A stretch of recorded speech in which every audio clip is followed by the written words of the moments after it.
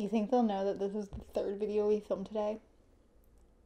Or do you think because I changed my shirt and took down my hair that I bamboozled them?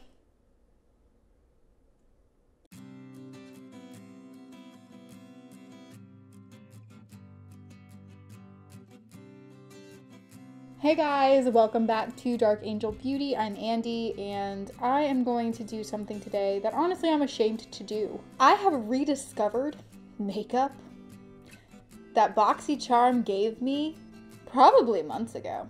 Honestly, I don't remember when I got most of these.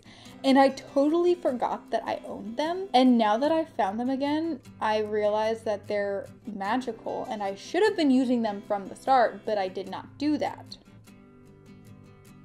I feel like this is one of those issues you have when you only spend too much money on one thing. Like if my makeup collection were not so extensive, then I would use these more frequently. And they should be used more frequently because they're beautiful and they're great products. So, that being said, I'm coming to terms with my addiction and I'm trying to confront it head on by not forgetting about the stuff that is quality. So, these products all came from my BoxyCharms in different months. Hey, BoxyCharm, you gonna sponsor me yet or what? Anyway, let's jump into. I don't even know what months these came from. That's the sad thing, is because I've had it for so long. I think I can kind of remember when, but not really. I say that, but not really. Like, only the ones that were pretty frequently. They're pretty recent, will I remember. So, the first thing I want to talk about this is what inspired me to make this video. It is the Farmacy Honeymoon Glow AHA Resurfacing Night Serum. And literally last night, I went to bed at 7 o'clock because I had gone to work early and I had to go to work early today. I decided I was going to go to bed early. I woke up at 10 o'clock, 10 p.m., wide awake. And I was like, what am I going to do? I online shopped and I played some games on my phone and then I took a shower and I was like, well, I took a shower since I just cleaned my skin, let's go ahead and put this night serum on it and see how it works. And oh my gosh, it was great. Like, at first I was kind of uncertain because, and I'll show you as I'm explaining it. This is what it looks like. Just a nice little pump bottle, right? And it's a really good size. I mean, it's, it's BoxyCharm, so it's full size. And I pumped just a little bit on my hands and I put it on my face and I had like this one kind of like patchy red area and it burned and I was like, no, thank you. But then after it calmed down, it made my face feel really smooth and it looked glowy. So I was like, all right, maybe I can get behind this. And the whole idea behind it is you sleep in this and then you wash it off in the morning before you put on your makeup. Y'all, I woke up like four hours later because I had to get up at 4 a.m. But I woke up four hours later and my skin looked beautiful. I mean, beautiful. I was like, all those intensive skincare regimes that I've done for you guys, they have never made my skin look that nice. And I was like, why have I not been using this? And part of the answer, I guess, is because I don't shower regularly enough to use a night serum every night. Yikes. But honestly, I think it's more that I just forgot about it. And I forgot until I watched another video where somebody was unboxing their BoxyCharm and talking about it. And I was like, oh yeah, I have that. Honestly, very excited that I've discovered this because now that I know it, it's definitely going to get used more. You guys know that I like to do my intensive skincare re regimes. And, and honestly, like, I keep saying regimes. That's the wrong word. It's regimens. I'm stupid. I'm so sorry. But you guys know that I like my intensive skincare regimens. And this I think is going to be a really good asset to have to help kind of neutralize my skin after I've abused it for so long, which we all know I do. So that's a great one. Glad I found that guy again. The next one I'm to do is the, no, don't roll away. It's rolled away. Um, the next one I'm to do is the No Pore Blem Prime Essence Oil, which is from Touch in Sol. This was a couple months ago in the BoxyCharm.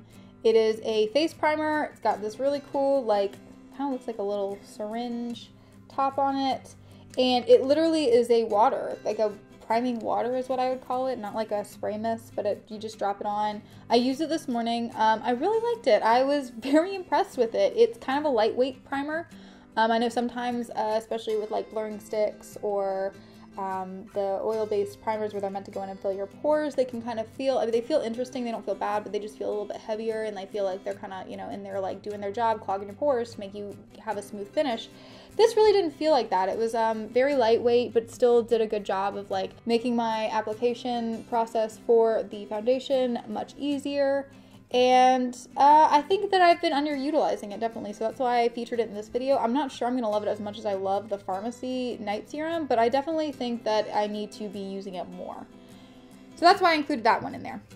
I'm gonna do two palettes, and I'm gonna do really the product that is like the best thing in the world that I've been not using anywhere near enough at the end. So the next one I'm gonna do is from Ace Butte, Butte I don't I don't know. It's got like an apostrophe over it, so it's maybe it's French. I don't know. Maybe it's Ace Beauté. I don't know. I don't know. But it's the Grandiose palette. So it comes in this very pretty black and gold nice palette and then you open it up I don't know why I haven't used it I've used it a little bit you can kind of tell but I don't know why I have not used this more because every single color in here are the colors that I go for it's the reds and the pinks and the kind of light browns with the golds and the shimmers. This is me in a palette. And BoxyCharm was like, hey, I'm sending this to you one month. And I was like, cool. And I used it probably twice. And then I lost it in my BoxyCharm drawer and I haven't used it since. So I pulled this guy out because you know what? He just needs to be used more because he's beautiful. And I'm sorry for neglecting him. I feel like, honestly, I should apologize to all of my makeup at some points because I feel like most of them get neglected. Is story time. So, I was perusing the Ulta website the other day because I have the app on my phone, and so when I'm bored, I just pull it up and I look for makeup because I, I hate my money and I want to spend it all on makeup. And I stumble across, I stumble across, that's the word, I stumble across this palette, and I go, wow, that's got some beautiful shades in there. I really like this palette. I would own that palette. I should own that palette. But it was $36. And I was like, I just spent a bunch of money, so I didn't put it in my cart, and it wasn't on sale, so I was being good. Y'all, when I decided to do this video, I was going through my makeup and I was like, I'm sure I can pull out something that has been neglected, that's beautiful, that works well. I kid you not. I pulled out the palette I was looking at. It is the Pure festival palette and I was going to re-buy it because I forgot I owned it. What is wrong with me? There has to be something wrong with me. So yes, so I realized that um, that was probably the moment where I had the biggest issue with my problem, and I really had to come to terms with how how bad I am about my makeup sometimes. So I didn't buy it again, thankfully. Uh, I guess if I had, I would have at some point realized that I had two of them. Hopefully, I would not have used the second one and maybe could have given it away. I don't know. But I almost bought it. It was a close call. But this is the palette that we've been talking about, the palette in question. It is the Pure Festival palette. Um, I think they did it around the time Coachella was happening. So the, everybody was trying to look for those like cool festival looks but it's just got these really pretty colors. It's I think what draws me to this palette is that it has three really nice neutral shades, um, a dark brown, a kind of reddish brown, and then like a really light, light, light tan brown.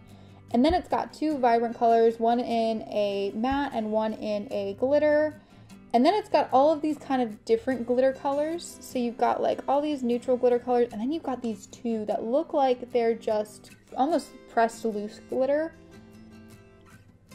It's just such a pretty palette. I still, I looked it up on Ulta's website to make sure that I was not mistaken. It's the same exact palette, I promise.